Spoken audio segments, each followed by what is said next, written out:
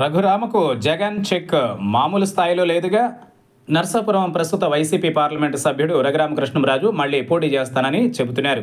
ఏ party అన్నది ఇంకా తేలకున్నా తాను పోటీ చేయడం ఖాయమని దమ్ముంటే తనను ఓడించాలంటూ సవాల్పై సవాల్ను కూడా విసురుతున్నారు.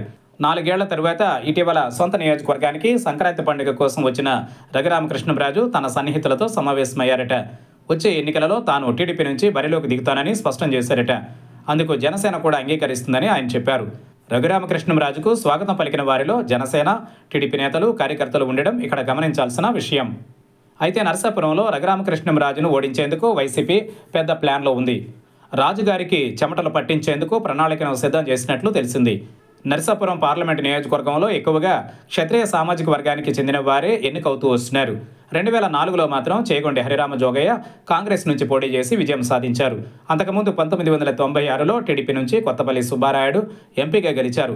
అయితే రెండు వేల తొమ్మిది నుంచి వరుసగా క్షత్రియ సామాజిక వర్గం వారే ఎన్నికవుతూ వస్తున్నారు. వారికే రాజకీయ పార్టీలు కూడా ప్రాధాన్యత ఇస్తున్నాయి.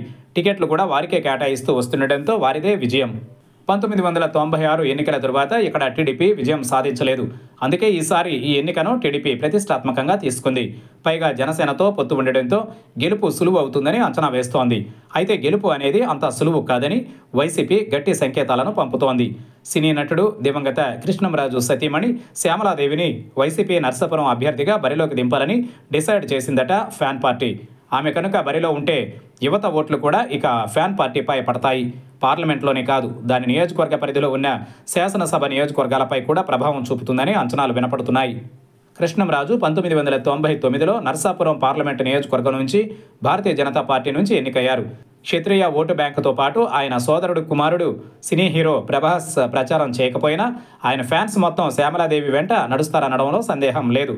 క్షత్రియ సామాజిక వర్గంలో కృష్ణంరాజుకు ఉన్న పేరు ప్రతిష్టలు అదనపు బలం చేకూరుస్తాయంటారు. అప్పుడు శ్యామలాదేవి గెలుపు ఈజీగా మారుతుందని ఫ్యాన్ పార్టీ నేతలు గట్టిగా భావిస్తున్నారు. శ్యామలాదేవిని పోటీకి ఒప్పించేందుకు ఆ జిల్లాకు చెందిన వైసీపీ నేత ఒకరు ఇప్పటికే రంగంలోకి దిగినట్లు తెలిసింది. అలా రఘురామకృష్ణంరాజుకు కృష్ణంరాజు సతీమణితో చెక్ పెట్టాలన్న యోచనలో వైసీపీ ఉంది. మరి శ్యామలాదేవి బరిలో ఉంటే రాజుగారికి చుక్కలు కనిపించినట్లేనని నర్సాపురం టాక్.